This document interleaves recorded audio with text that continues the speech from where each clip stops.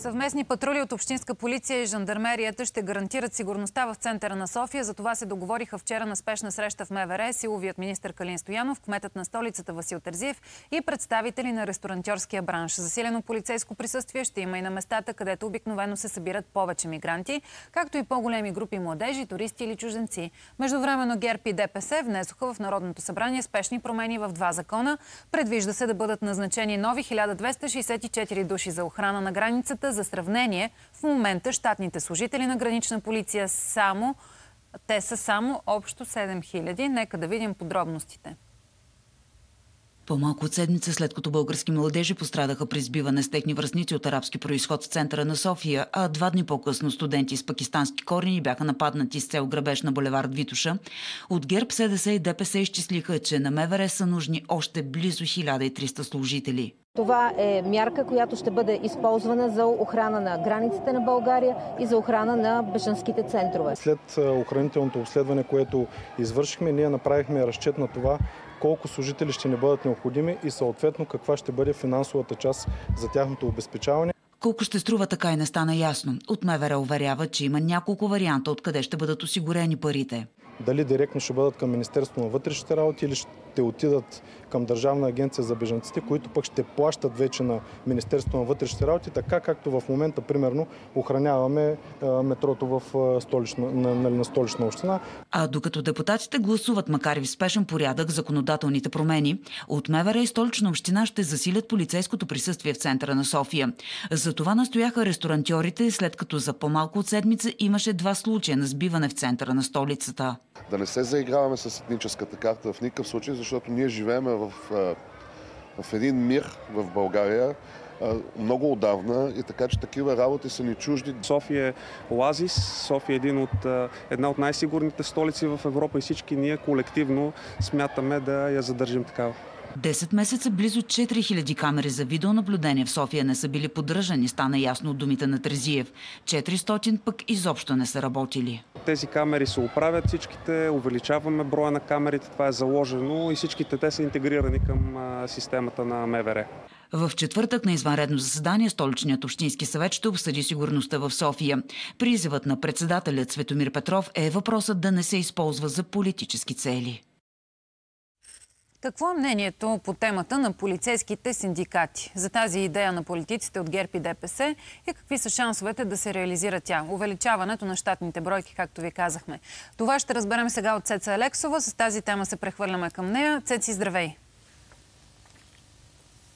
Здравей, Лори. Точно така. Аз съм в офиса на Синдикалната федерация на служителите в МВР, а до мен е Геннади Тенев, който сега ще ни даде отговор на тези въпроси. 1264 души нови постъпления в гранична полиция.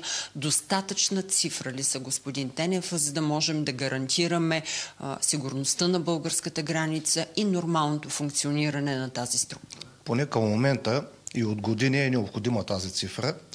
От години ние сме настояли нашата организация за поне 1200 човека нови, щат в гранична полиция и в МВР. Добре е, че вече има и политическа воля за това нещо. След инцидента 22 година в Бургас, когато загинаха двама колеги и професионалното ръководство на МВР вече поде и тази тема. И в момента е налична вече и политическа воля и съответните промени, които да допринесат за това нещо, като идеята е, доколкото сме запознати и с мотивите към а, направените предложения, е, това са нови щатове за МВР, няма да се вземат от други служби на МВР. Това за вас е успокоително? Естествено, да. Защото в годините, когато се правеше някакво преструктуриране, увеличаване на щатови на някоя служба или дирекция, се взимаха от други места. Има ли притеснение обаче кога ще се случи? Прекъсваме, защото в момента Възраждане излизат вече от президентството. В новините гледайте още от а, темата, която разисква Цеца Алексова с синдикатите на МВР по отношение увеличаване на щатната бройка на гранична полиция. Нека да чуем Костадин Костадинов след среща с президента. Напрежение не съм видял да има. Просто ние казахме това, което мислят стотици хиляди български граждани. Че трябваше да бъде свикан референдум и ние очаквахме от него да не се съобрази с беззаконието в парламента и да свика такъв референдум. За съжаление, това не се случи. В закритата част за нас медиите, за какво си говорихте, какво му казахте?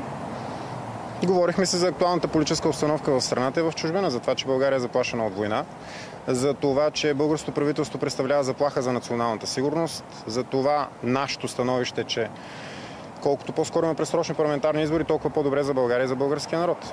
За това се говори. За българските общности в чужбина, за проблемите, които имат българите в Молдова, в Албания, в Косово, за българите в Македония, за демографската катастрофа, за това, че само ние имаме в момента и то не само в момента, и въобще последните 34 години програма за демографско възстановяване и регенерация на българския народ. За това, че преди 3 години за първи път отидохме на консултации при него, тогава България беше с 220 хиляди души по-голяма. За това, че тази година за първи път паднахме под 50 хиляди живородени деца. За това, че България умира и убийците са в Народното събрание. Смятате За това ли, говорихме. Смятате ли, че има възможност да се осъществи успешно ротацията? Ясно е, че вие искате предсрочни парламентарни избори, но какво според вас ще се случи сега? Успешна ротация означава неуспешно развитие за България. А трябва ли президентът да бърза с мандата според вас? какво ви казва? Да, смятам, че трябва да го връча още утре. Чули президент Радев какво му казвате и разбрали общо взето сериозността на проблема, който сте му разяснили?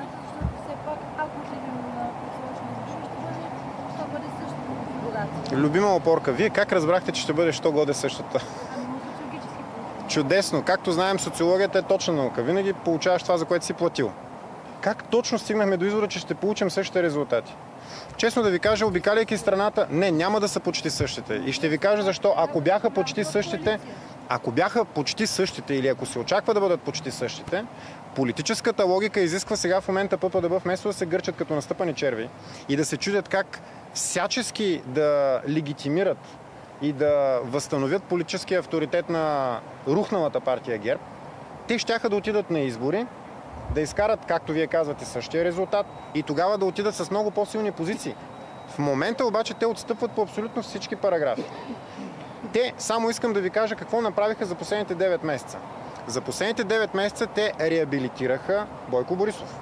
Сега, с това, че ще подпишат коалиционно споразумение, най-вероятно на там отиват нещата, с това коалиционно споразумение те не просто ще го реабилитират, те на практика ще го превърнат в основния политически фактор, на който те ще бъдат държанки. Нали знаете какво е това? Ето защо в тази ситуация, следващите 9 месеца, ППДБ ще паднат със сигурност под 10%. Нашата информация е, че в момента са четвърта политическа сила. Да ви кажа аз как стоят нещата. И за това, ако вие смятате така или както казват някои, примерно да кажем, привърженици на тази формация ППДБ и други, които цитират социологически проучвания, че всичко ще бъде същото, ние казваме, добре, нека да отидем на избори, нека да видим дали е така. Третият мандат беше ли обект на разговор Не. Каква беше реакцията на Румен Радев относно това, което му казвате за За някои, неща, за някои неща спорихме, за други беше съгласен. Спорихме основно по темата за референдум. Но за другите неща е беше напълно съгласен? За всичко останало, за което ние говорим, беше абсолютно съгласен с нас. И добре, ще ви даде ли трети мандат, ако няма... Говорили ли сте? Да. Не, не сме говорили за трети мандат въобще, защото, пак казвам, и нашата нагласа е такава. Смятам, че а, управляващите ще се разберат поради една много проста причина. ППДБ изпитват панически страх от избори. Те знаят, че са вече под 10% и са четвърта политическа сила. И това, което си говорят вътре в техните среди е следното. Или ще загубим всичко, ако отидем на нови избори, или сега можем да запазим поне една част от властта. Макар, че има нещо много интересно, което не трябва да забравяме. Нашата информация е, че Борисов се е договорил с тях да получи главния прокурор. И тъй като тези тотални неадекватници и неможачи така и не се научиха да правят политика, те не разбират едно много простичко нещо. Те сега ще подпишат коалиционно споразумение. Ще разделят баницата по някакъв начин, без значение какво.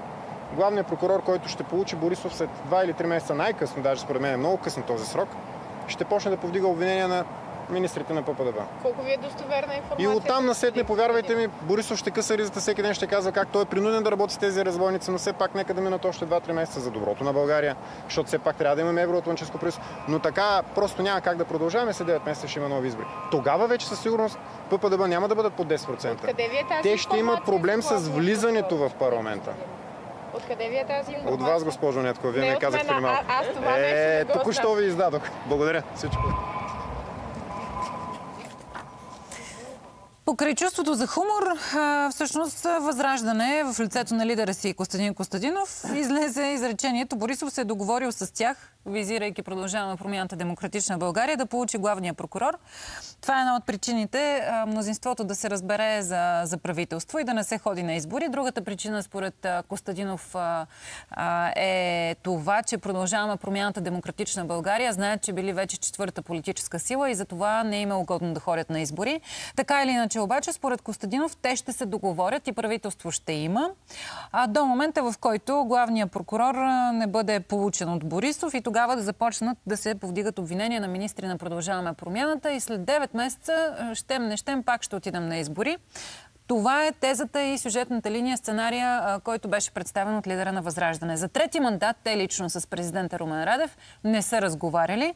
По време на разговорите официалните, които ви показахме обаче, стана ясно, че а, Възраждане са готови да предложат кабинет, но искат а, избори при всички положения. Сега, връщаме се към Цеца Алексова, която между другото прекъснахме заради динамичната обстановка политическа. Цеци, прощавай за това, но няма как. Следим активно тази водеща политическа тема с разговорите при президента. 1264 щатни бройки за гранична полиция, нови, предлагат от ГЕРБ и ДПС. Връщаме се към мнението на, на синдикатите на МВР. Доколкото знам, има сериозен проблеми с не само с окомплектоването на човешкия ресурс по границата, но и с оборудване и материална база.